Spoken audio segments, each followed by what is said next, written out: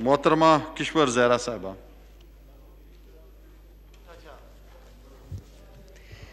शुक्रिया deputy speaker साहब। मैं बजट के मुजमरात से पहले दो अवामी मुतालबे आपके सामने रखना चाहती हूँ कि कल आगरा की एक मीटिंग होने वाली है। सूरत हाल इस वक्त ये है कि कोरोना की वजह से जो लॉकडाउन्स हुए, उसमें कारोबार लोगों के बंद हो गए। और मिडिल क्लास और लोअर मिडिल क्लास ही नहीं तमाम क्लास आपस में बातचीत ना करें। तमाम मेम्बरान से मेरी गुजारिश है कि तकरीर का मौका दें पूरा मोहतरमा को। पेट्रोल की कीमतें कम होने का सवाल ही नहीं पैदा हो रहा है और आवाम की कमर टूट रही है। कल आगरा ने एक मीटिंग रखी हुई है जिसमें गैस की कीमतें बढ़ाने का ऐलान किया जाएगा। मैं आपके तवस्त से इस ऐवान के तवस्त से उन हलकों से जो इन पर दस्तरख रखते हैं, ये कहना चाहती हूँ कि अवाम में अब ताकत नहीं है। दूसरा एक मुतालबा ये है कि मेरी सिंफ की बावन फ़ीसदी आबादी इस मुल्क में आबाद है और उसी में एक बहुत बड़ी तादाद उनकी है जो वो ख़वातीन जो इम्पोर्ट एक्सपोर्ट से भी वाबस्ता हैं बुटीक का काम भी करती हैं पार्लर का काम भी करती हैं। इस लॉकडाउन के सबब सब कुछ बंद होने के बाद दिवालीपन के शिकार हो गई हैं। तो मैं मुतालबा करती हूँ ख़वातीन के लिए खसूस तौर पर किसी पैकेज का ऐलान किया जाए। अब मैं अपनी गुफ्तु का आगाज़ बजट बजट के मजमरात के बजाय एक लफ्ज़ मफाहमत से शुरू करती हूँ। मफाहमत से आप समझ लीजिए कि नेशनल इकोनॉमिक कंसेंसस बात करना चाहती हूँ। जो बजट पेश किया गया है, उसके हवाले से इतना कहना चाहूँगी कि कोरोना के सबब पूरी दुनिया में एक तबाही फैल गई, और जबकि हम एक मकरूज मुल्क थे। इसमें यकीनन काबिल तहसीन बजट पेश नहीं किया जा सकता था। जो बजट पेश किया गया, उसको बेहतर बजट कह सकते हैं। जैसा कि मैंने कहा कि मेरा उनवान मफाहमत है। इस लफ्ज़ का सहारा लेके मैं गुजारिश करूँगी हुकूमत वक्त से भी और अपोजिशन से भी कि जिस दलदल में मुल्क फंसा हुआ है, अपने, हमें अपनी तबाहियाँ मिल के इस मुल्क को निकालना होगा। लेकिन बहुत दुख की बात है कि असम्बली में जो माहौल में देख रही हूँ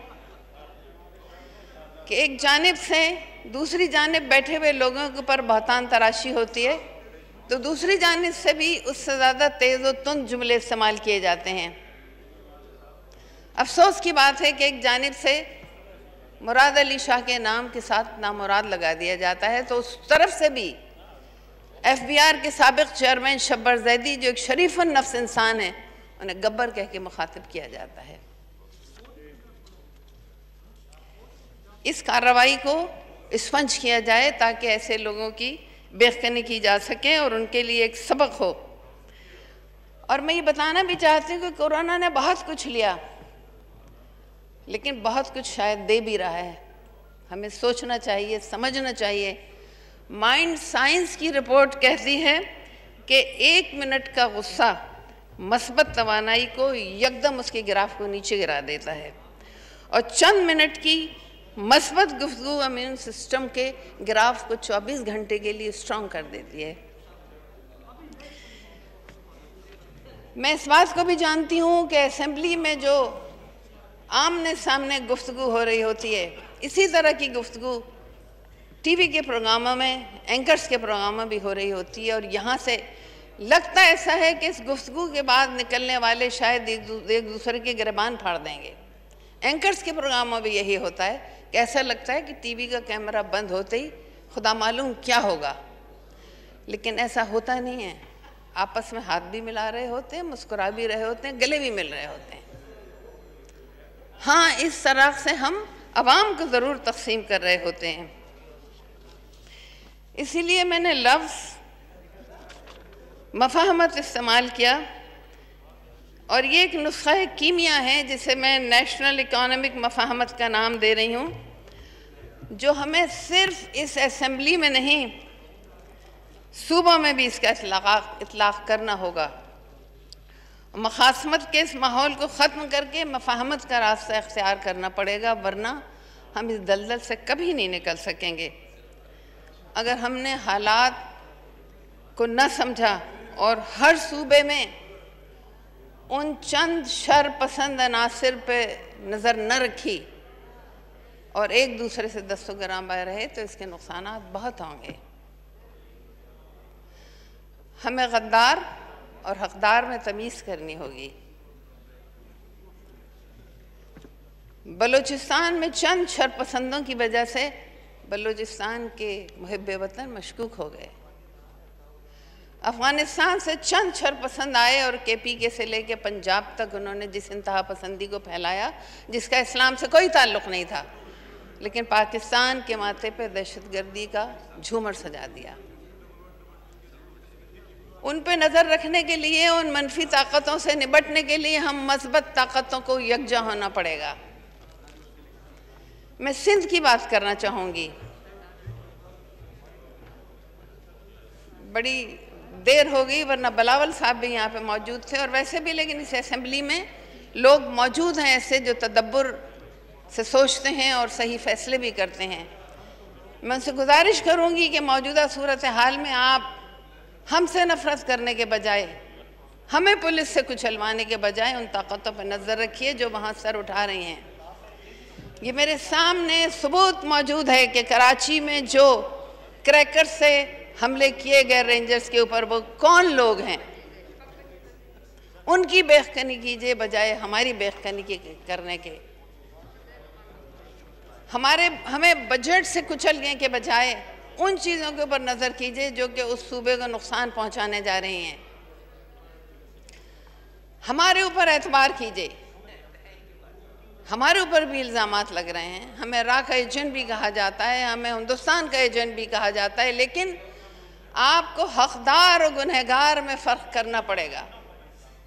जिस तरह मैंने सिंध में उन कलदम तंजीमों का तरफ़ इशारा किया कि वो किस तरह से तबाही की तरफ़ जा रही हैं, इसी तरह से दो दिन से टीवी पे भी एक इंटरव्यू और अखबार में इतलात हमारे हवाले से हैं। लेकिन मैं आपको बता दूँ, मैं ये कहना चाहूँगी स्पीकर साहब कि किसी एक फ़र्द या एक गिरोह की गलती से पूरी कौम न गुनहगार होती है, न चोर होती है। हमें इसमें तफरीक करनी होगी। अगर ऐसे लोग पाकिस्तान के किसी भी सूबे में मौजूद हैं, हमारे दरमियान भी मौजूद हैं तो हम उनकी सज़ा के लिए आपसे पहले उससे आगे खड़े हुए होंगे। लेकिन उन मस्बत क़वतों को एक और एक दो नहीं बल्कि एक और ग्यारह बन के उनको कुचलना होगा। इसलिए मैं गुजारिश करूँगी कि मफाहमत जिसके ऊपर मैंने बात की है उसको अपोजिशन को भी अपनी तोानाइयाँ मफाहमत के साथ इस्तेमाल करनी होंगी। मेम्बरान से गुजारिश है कि जिसने भी कचहरी करनी है वो गैलरीज में चला जाए। यहाँ पर बैठ के एक दूसरे से कचहरी वाला माहौल कोई उधर खड़ा है कोई उधर खड़ा है बातें कर रहा है। जी, मोहतरमा, किश्वर जहरा साहबा। मैं गुजारिश करूँगी कि हुकूमत को अपने गोल्स पूरे करने के लिए अपोजिशन की बात सुननी पड़ेगी। इसी माहौल को बेहतर करने के लिए जिस नुस्खे कीमिया का ज़िक्र कर रही हूँ, मैं मफाहमत का, कल भी मैंने मेरी मोजिज़ कुलीग श्री मज़ारी जब गुफ्तु कर रही थी, अपना वक्त पूरा होने के बाद भी वो कुछ कहना चाहती थी, मैंने आपसे दरख्वास्त की थी कि मैं बेशक हुकूमत की बेंच पे बैठी हूँ, लेकिन मेरा वक्त दे दीजिए और उनकी बात सुनिए। इसलिए ज़रूरी और हुकूमत अपोजिशन को भी मुखालफत, बरए मुखालफत करने के बाद बजाय इस वक्त इस दलदल से निकालने के लिए बड़ा संजीदा रवैया अख्तियार करना होगा।